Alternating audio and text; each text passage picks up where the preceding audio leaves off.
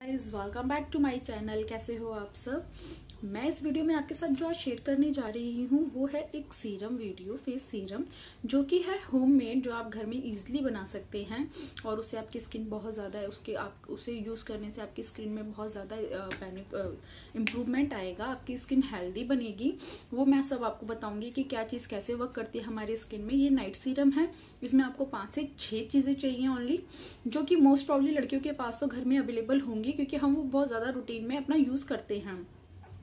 मैं इस सीरम को यूज़ करते हुए मुझे पंद्रह बीस दिन हो गए हैं। मैं कुछ भी चीज़ आपके साथ जब भी शेयर करती हूँ, चाहे वो होममेड हो, चाहे वो घर बाहर के प्रोडक्ट्स हों, पहले वो मैं खुद यूज़ करती हूँ, उसका रिज़ल्ट देख देखती हूँ देन उसके बाद मैं वो आपके साथ शेयर करती हूँ कि वो कैसा काम करते हैं, वो अच्छे हैं या नहीं हैं, उसके क्या साइड इफ़ेक्ट्स हैं, मैं आपको वो आपके साथ शेयर करती हूँ।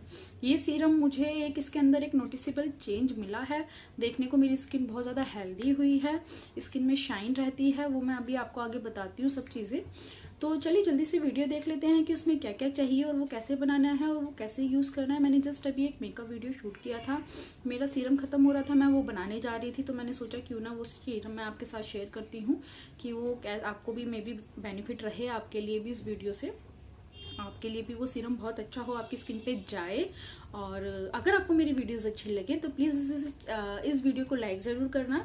मेरे चैनल को सब्सक्राइब करना बिल्कुल भी ना भूलना और बेल आइकन है साथ में उसे ज़रूर हिट कर दीजिएगा ताकि मेरे आने वाले सारे वीडियोस की नोटिफिकेशन आपको मिलते रहें। तो चलिए जल्दी से देख लेते हैं कि सीरम कैसे बनाना है कैसे यूज़ करना है उसमें क्या क्या चीज़ें चाहिए। तो चलिए वीडियो स्टार्ट करते हैं। सबसे पहले मैंने लिया है कॉफ़ी मैं एक चम्मच कॉफ़ी लूँगी। कॉफ़ी स्किन के लिए बहुत अच्छा होता है। कॉफ़ी स्किन का पीएच बैलेंस बहुत अच्छे से मेंटेन करता है। कॉफ़ी स्किन को सॉफ्ट बनाए रखता है पिंपल्स को भी दूर करती है। कॉफ़ी कॉफ़ी स्किन के लिए रियल में बहुत अच्छा ब्राइटनिंग देती है कॉफ़ी स्किन को। एक चम्मच मैं कॉफ़ी लूँगी।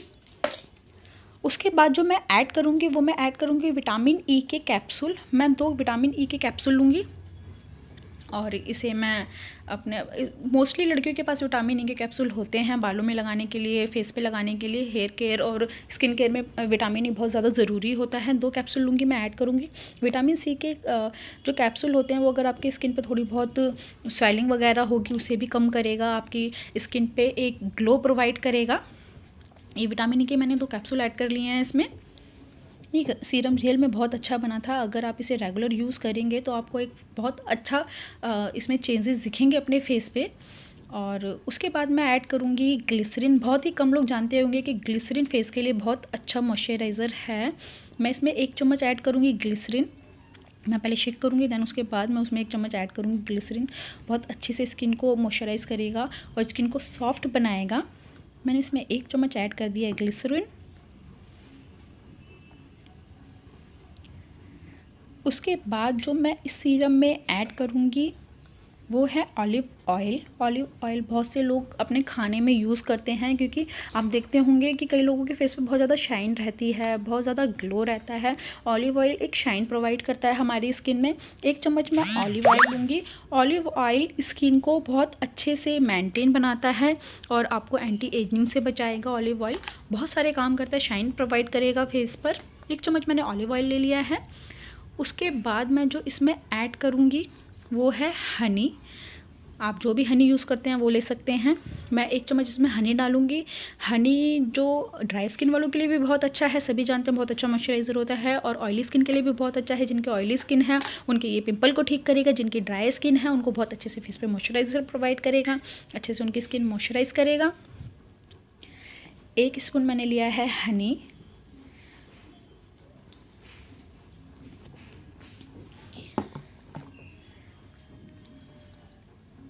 अब उसके बाद मैं इसमें जो ऐड करूँगी वो है रोज़ वाटर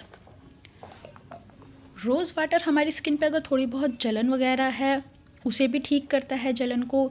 फेस पे एक, आप देखते हो कि रोज़ वाटर में कितनी अच्छी फ्रेगनेंस होती है स्मेल होती है. बहुत फ्रेश रखता है स्किन को फ्रेशनेस सी रहती है फेस पे. एक चम्मच मैंने रोज़ वाटर ऐड किया है.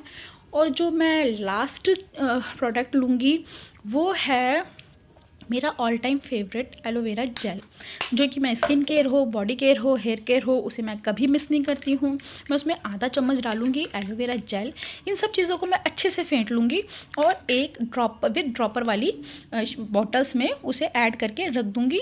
और चाहे तो मैं इसे दो तीन दिन बाद यूज़ करूँ, चाहे मैं सेम डे आप यूज़ कर सकते हैं, जैसा आपको ठीक लगे, वैसे आप यूज़ कर सकते हैं। ये सीरम बन के रेडी है। आई होप आप लोगों को अच्छा लगा।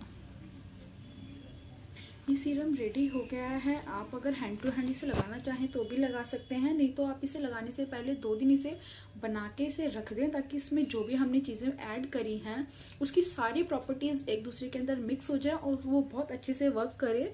ये सीरम का इस रियल में बहुत अच्छा है, मैं अपना मेकअप रिमूव कर रही हूँ।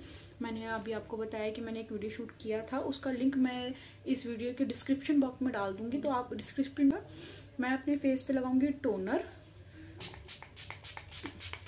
जो कि मैं हमेशा ही लगाती हूँ।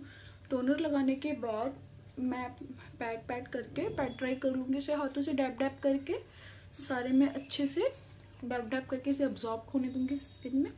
देन उसके बाद मैं जब भी आप इस कोई भी सीरम यूज़ करते हैं, उसे अच्छे से पहले, लगाने से पहले अच्छे से शेक करें। आप इसे यूज़ करके देखना आपको रियल में बहुत अच्छा ग्लो लगा, लगेगा कुछ टाइम में स्किन में। ये आपने फ्यू ड्रॉप्स लेनी है।